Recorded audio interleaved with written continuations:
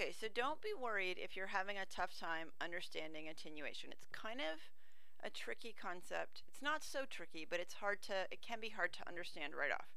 So I'm going to try drawing it out. I already started, but I hadn't zoomed in, so I had to start over. So here we have the promoter, which is where the RNA polymerase is going to bind.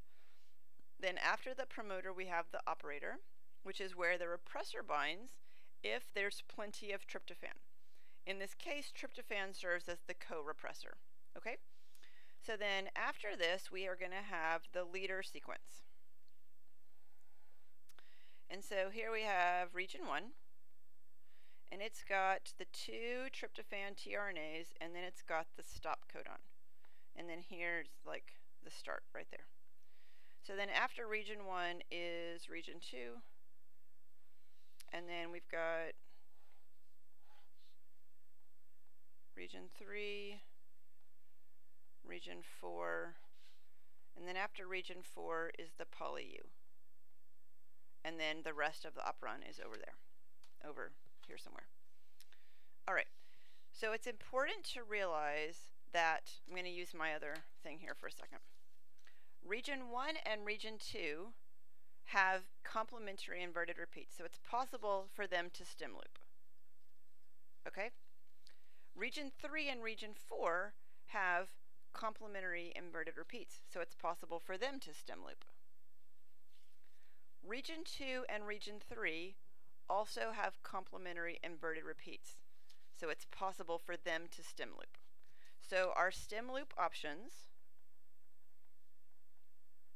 is 1 and 2, in which case we would also have 3 and 4, because we can't have 1 and 2 and 2 and 3 at the same time. So we can have 1 and 2 and then 3 and 4, or we can have 2 and 3. Okay? So what's going to happen is the RNA polymerase is going down and doing the transcription. Simultaneously, because we're in a prokaryote, the ribosome is going to attach to the Shine-Dalgarno and then to the start codon and then begin to transcribe the leader peptide, which is going to be, actually it starts there.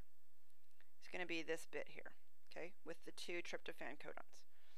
So if there is high tryptophan, then that means there is lots of tryptophan tRNA, right? So the ribosome goes down, goes down, does not stop here. No stall at the tryptophan codons because the ribosome only stalls when there's nothing to come into the A site. And if we've got lots of tryptophan and lots of tryptophan tRNAs, then we're not going to stall at the tryptophan codons. Instead, the ribosome keeps going down and it's going to stall at the stop codon, which is normal because there's no tRNA for the stop codon. So here is the ribosome, plunk, right on top of the stop codon. And so it's covering up, the ribosome covers up the back half of 1 and the front half of 2. Okay. So here's the ribosome, right here, over 1 and 2. So 1 and 2 cannot stem loop. However, it's important to realize that 2 and 3 also cannot stem loop because part of 2 is covered up, whoopsie, part of 2 is covered up by the ribosome. And so we can't make the 2-3 stem loop. Okay, so as the RNA polymerase proceeds, it's going to go past 3, it's going to transcribe 4, and then we get the 3-4 stem loop. The 3-4 stem loop is called the attenuator stem loop because it's going to form of the stem loop immediately ahead of the poly-U. So when the RNA polymerase pauses here, then the transcript is going to detach from the DNA. So that makes this 3-4 stem loop the attenuator stem loop. Okay, attenuation is sort of early termination of transcription. When transcription starts here in the leader, but transcription does not go the whole way through the rest of the operon. Transcription stops before we even actually get to the coding part of the DNA. Okay? So when the ribosome stops here at the stop codon, then it covers up region 1 and region 2, which allows formation of the attenuator stem loop, which is the 3 and 4 stem loop, and then this stem loop plus the poly-U gives us the intrinsic terminator, which we learned about on the last test. Okay? Good so far.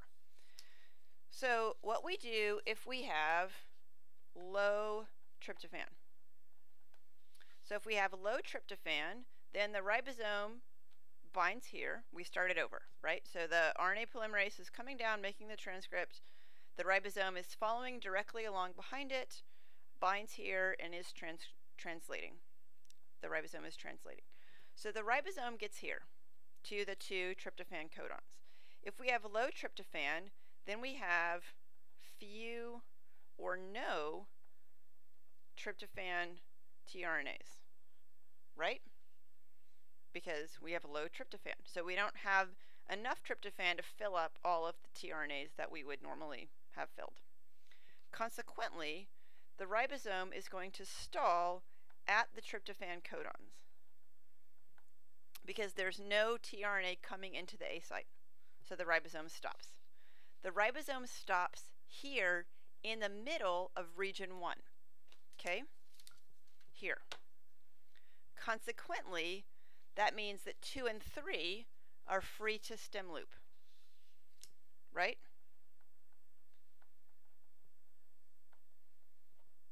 If 2 and 3 stem loop, then that means 3 and 4 cannot stem loop.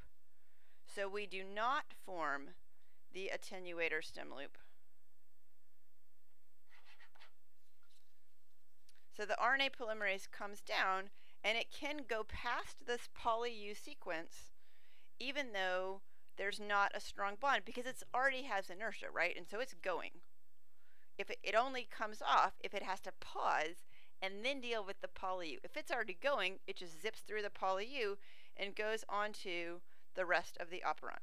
And so then here we have transcription of the entire trp operon. Because we do not stem loop 3 and 4, so this intrinsic terminator does not form and transcription proceeds.